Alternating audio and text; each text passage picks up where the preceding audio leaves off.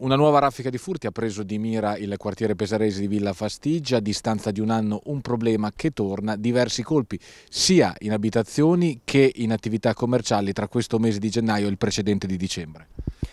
Sì, mia, il mio intervento è proprio per risollecitare quello che poi non è stato fatto perché dopo i furti dell'anno scorso siamo proprio a distanza quasi di un anno, una serie di furti ha colpito le vie finali eh, la settimana scorsa via Borsi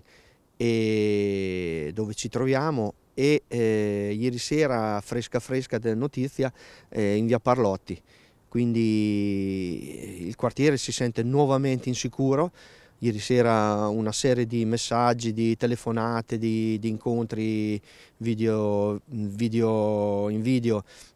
con alcune persone che mi sollecitano eh, di riprendere quello che poi l'anno scorso non è stato fatto, quindi quello che il comune deve fare, quindi un incontro pubblico eh, qui nel quartiere, ma soprattutto sollecito magari anche il questore di parlare con un incontro con noi del consiglio di quartiere. Io parlo diciamo da, da consigliere di, di Ascoltiamo Pesaro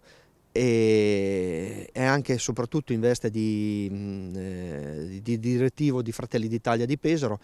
è una delle questioni che eh, diciamo come partito a cui teniamo molto. Sappiamo che eh, ci sono gravi mm, diciamo, mancanze di personale, quindi non possiamo pretendere